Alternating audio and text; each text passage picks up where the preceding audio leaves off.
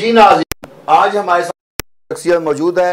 वो Lahore tax bar association के finance secretary हैं नोमान ताज साहब। तो आइए इनसे गुफ्तु का आगाज़ करते हैं। जी नुमान साहब क्या हाल आपका? ठीक है? अल्लाह का बट सब आप सुनाए आप ठीक है? बस शुक्र अल्लाह का। तो ये बताएँ कि ये जो आजकल जो टैक्स के मामला आते हैं। बहुत सारे लोग जो है ना टैक्स में अपने आप को रजिस्टर कराने से डरते हैं। इसकी क्या वजूहत हैं? देखिए बट सब इशू ये है कि देखें अपने आप को टैक्स में रजिस्टर कराना सबसे पहले ये तो हर शहरी की ज़िम्मेदारी है कि वो अपने आप को एज अ टैक्स पेयर अपने आप को रजिस्टर करे। इसमें अपने मुल्क की भी पहचान होती है, उसके ज़र मुबादला के ज़ाहिर में भी इजाफा होता है। और दूसरा ये कि जैसे आप देखते हैं पूरी दुनिया में इंटरनेशनली देखा जाए तो जो टैक्स का कल्चर है बहुत ज़्यादा आम है।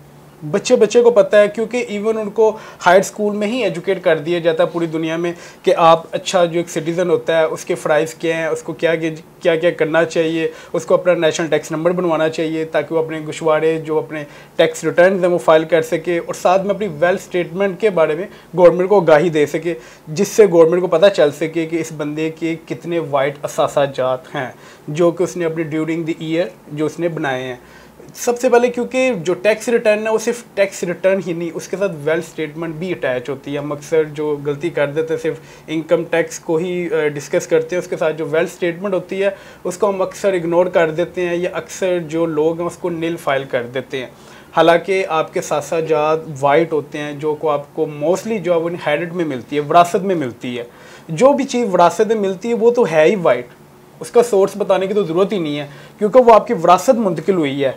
कि जैसे ही आपके पेरेंट्स जो हैं, वो या तो आपको बाई गिफ्ट कर देते हैं, आपको विरासत नहीं तो जैसे ही वो इस दुनिया से कुछ करते हैं तो उनकी जो प्रॉपर्टी है, वो ऑटोमेटिकली ही आपके नाम पे इसकी विरासत का इंतकाल जो होता है ऑटोमेटिकली जो आपके नाम पे चढ़ जाता है, जिसको आप अपनी वेल्थ स्टेटमेंट डिक्लेयर कर सकते हैं। ज़रूरी नहीं है कि उसके लिए कोई सिविल सूट फ़ाइल किया जाए या एक डिक्लेरेशन फ़ाइल की जाए कि जी कि ये मेरे वालदेन की चीज़ है, ये मेरे नाम पर पहले ट्रांसफ़र हो, फिर वो नहीं। जिस दिन वो इस दुनिया फ़ानी से कूच करते हैं, उसी दिन से वो आपकी मलकियत बन जाता है, जो कि विरासत का जो कि वेल्थ स्टेटमेंट का एक पार्ट है। ठीक है? कुछ तो वेल्थ आपको विरासत में आए, कुछ जो आप अपनी इनकम में से जो आप पैसे सेव करते हैं, बचाते हैं, उससे जो आप अपने जो सासा जात हैं, उसको आहिस्ता आहिस्ता बढ़ाते हैं, कोई प्लाट कोई गाड़ी, कोई वो लेते हैं, उसके बैक एंड पे आपको वाइट मनी होनी चाहिए, जो कि आप क्या, अपनी इनकम से जनरेट करते हैं, और इनकम वो जिसके अगेंस्ट आपने टैक्सेबल इनकम के अगेंस्ट जो आपने टैक्स जमा किया होता है, जो गवर्नमेंट ऑफ़ पाकिस्तान को जमा करवाया था।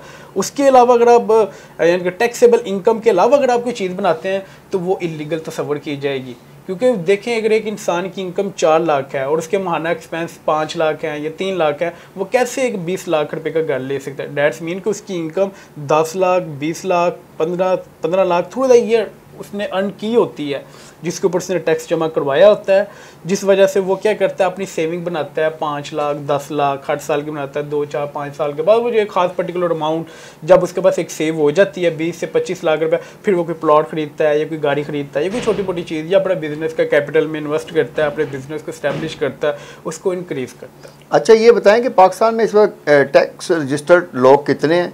और मजीद कितने होने चाहिए आपके अंदाजे बट सब इशू तो ये है कि पाकिस्तान की जो आबादी है उससे ही आपको अंदाज़ा लगा देना चाहिए जो कि इस वक्त गालबन पच्चीस करोड़ के करीब अवाम है जो हमारी टोटल आबादी है। यानी इक्कीस बाईस करोड़ की तो मरदमशुमारी हाँ, अभी दो साल पहले हुई हाँ। दो शुमार दो साल पहले जो कि अब इस वक्त तेईस चौबीस के लगभग है। और जो हमारा टैक्स पेड है वो बहुत ही कम है उस मुकाबले में। अब देखा जाए कि हमारे तो एक करोड़ क्या हमारे तो तीस लाख भी नहीं है।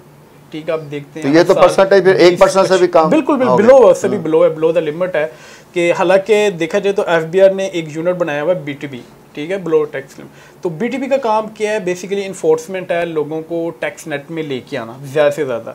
जो कि उसमें बिल्कुल ही वो नाकाम हो चुका हुआ है क्योंकि जो उनका बंदा नोटिस सर्व करने के लिए जाता है वो खुद ही वहाँ पे हज़ार दो हज़ार रुपये में डील करके वो नोटिस वहाँ ही रद्दी में कर देता है। तो कैसे टैक्स पेड आपका बढ़ेगा? कैसे वो होगा? अच्छा आप ये बताएँ कि ये जो एफ़ बी आर है मुख्तलि तरीक़ों से ताजरों को और बिज़नेस मैन को तंग करते हैं इनके अफसरान जो होते हैं वो तरीके लोग आपके पास शिकायत भी लेकर आते होंगे। वो तरीके बताएँ कि किन किन तरीक़ों से वो लोगों को तंग करते हैं। देखिए जी बेसिकली एफ़ का काम तो ये है कि लोगों को ज़्यादा से ज़्यादा टैक्स नेट में लेके आए। ज़ाहिर है जब भी आपने किसी से कोई चीज़ मनवानी होती है या उसको अपनी चीज़ पे कायल करना होता है तो आप उसको वो प्लेटफार्म ऐसा मुहैया किया जाता है कि जहाँ पे कोई हिचकिचाहट ना हो वो बड़ा कंफर्ट फील करे उस चीज़ में आके। देखें जब तक बंदा कंफर्ट फील नहीं करेगा वो आपके करीब नहीं आएगा। जब आप एक बैरियल बीच में ले आएँगे कि नहीं जी, नहीं, आपने टैक्स पेयर को तंग करना है, उसके बैंक अटैच कर लेने हैं, उसके बैंक में से उसकी कंसर्न के बगैर पैसे निकाल लेने हैं, या उसको नोटिस सर्व करके उसको परेशान करना है, या उसको सही तरह से बिज़नेस नहीं करने देना है, या उसकी आप बिज़नेस प्रेमिस को अटैच कर लेते हैं तो ताजर कंफर्ट नहीं है। ताजर कभी भी नहीं टैक्स देने से भागता।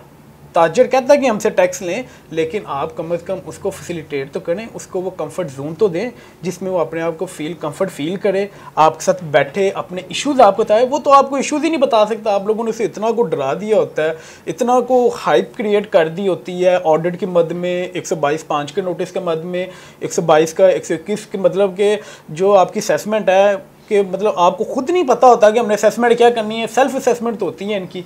अच्छा ये कुछ बताएँ कि ये जो 122 का नोटिस और ये जो दूसरे नोटिस हैं ये जी, क्या है उसके अंदर क्या लिखा होता है? ये बेसिकली जो 122 के जो नोटिस सर्व किए जाते हैं ये ए, किसी डिमांड के अगेंस्ट जनरेट किए जाते हैं ऑर्डर किए जाते हैं। फॉर एग्जांपल कि एक बंदा है उसने एक अपनी रिटर्न जब आप अपनी सबमिट करते हैं तो आपको फ़ौरन ही जो है 120 का जो असेसमेंट आपको जो आता है वो आपके इनबॉक्स में आउटबॉक्स में आ जाता है। ठीक है? कि आपने अपनी रिटर्न को फ़ाइल किया आपने अपने एज पर अपने नॉलेज आपने उसको सही फ़ाइल किया।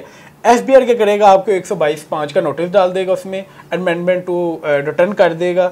जो कि एफ़ बी आर के पास कोई इंटेलिजेंस नहीं होती विदाउट एनी इंटेलिजेंस उसको वो क्या करेगा? उसकी रिटर्न के अंदर चेंजिंग करके उसकी इनकम को इंक्रीज़ कर देगा। उसकी इनकम को जब इंक्रीज़ करेगा, उसके अगेंस्ट टैक्स जनरेट कर देगा। ऑब्वियस बात, अगर एक चार लाख रुपए की इनकम है बंदे की, चार लाख तक आप टैक्स नहीं पे सक, कर सकते। क्योंकि वो गवर्नमेंट ने एक स्लैब रखा हुआ है कि जो बंदा चार लाख रुपए तक जिसकी इनकम है, वो टैक्स नहीं जमा करवाएगा। जैसे ही आप टैक्स फोर लाख के स्लैब को क्रॉस करते हैं, आपके ऊपर टैक्स पड़ना है। पहला टैक्स छः लाख रुपए तक आपको फाइव परसेंट आपको देना पड़ता है फोर लाख के ऊपर जितने भी आपको उसका अच्छा ये चार लाख जो है ये सालाना इनकम है या महाना? नहीं नहीं सालाना इनकम है सालाना इनकम और ये नेट इनकम है। ये ग्रॉस इनकम नहीं है। ग्रो नेट इनकम वो जो आपके बिज़नेस एक्सपेंस माइनस होने के बाद जो आपके पास जो नेट इनकम आती है ये वो इनकम है। ठीक। और ये बताएँगे ये जो बार बार जो ऑडिट के हवाले से बहुत सारी पेंडिंग कहा जाता है बहुत सारे नोट्स जो पेंडिंग पेंडिंग पड़े हुए हैं। इसके हवाले से बताएँ क्या मामला देखिए जी एफ़ बी आर के पास तो इतनी मतलब इंटेलिजेंस भी है हर चीज़ उनके पास इलेक्ट्रॉनिकली वो कर सकते हैं आप तो समन कर सकते हैं मतलब रिटर्न के आपके इनबॉक्स में जाके एनटीएन में आपको कर सकते हैं।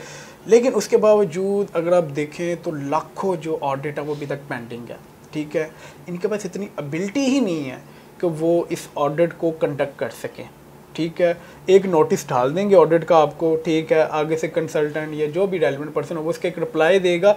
साल साल तक इनका जवाब ही नहीं आता। वो फ़ाइल कहीं ऐसी दब जाती है कि वो कंसल्टेंट भी भूल जाता है जो टैक्स भी होता है उससे भी नहीं पता होता क्या है और फिर एफ़ बी आर वो खुद भी भूल अच्छा आप हमें मुख्तर सा बताएँ कि आप जो टैक्स पेयर हैं जो इस तरह के मामला में फंस जाते हैं उनको आप किस तरह निकालने के लिए अपनी जो है ना एडवाइजरी पेश करते हैं? देखें हम लोग तो देखें हमारा काम क्या हम तो एक ब्रिज का काम अदा करते हैं ठीक है?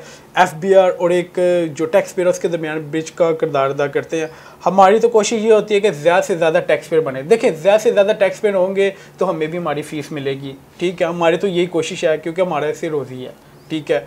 अब एफ़ बी आर क्या करता है? एफ़ ये करेगा, जी तो कोई ज़रूरत नहीं आंदी हमें पाँच, दस हज़ार, जो उनकी इतना दे, जी, आप इंजॉय करें, ठीक है? जो कि टैक्स पेयर के साथ भी ज़्यादा है। यानी कि ख़जाने के साथ भी ज़्यादती है, ठीक? क्योंकि ज़ाहिर है, जब तक लोग, जितना ज़्यादा लोग टैक्स नेट में आएँगे, आपके ख़जाने, आपके जो वो है, वो बढ़ेंगे और आपके, ज़ाहिर है, एक जब पैसा, जब गवर्नमेंट के ख़जाने में आता टैक्स होता है तो रिफॉर्म्स होती हैं चेंजिंग आती हैं, माशरे में उसका असर रसूख पड़ता है।